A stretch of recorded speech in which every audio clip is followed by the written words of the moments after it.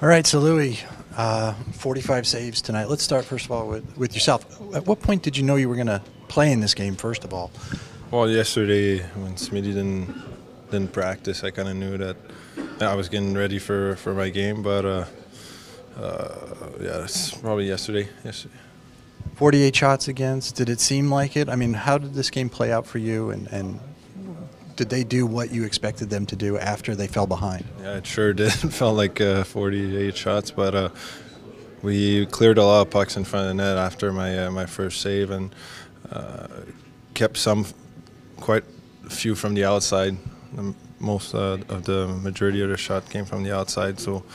Um, we played a great game. We played like a team that had the lead. Like we've struggled getting leads, but and then when we had the lead, we kind of kind of step back. But we uh, we really played like we had the lead tonight. We did the right things, and especially in the uh, first and second.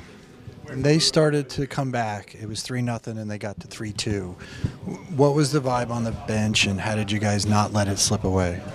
I wasn't on the bench, but I knew I knew from from the look of it on the ice, we. Uh, you know, we got a big goal from uh, Devo, and and then uh, and then we kept going. We kept, uh, you know, we we stepped on the on the pedal, and we kept going forward, and uh, spent some times in the ozone, and you know, it turned out to be a, a great game for us tonight.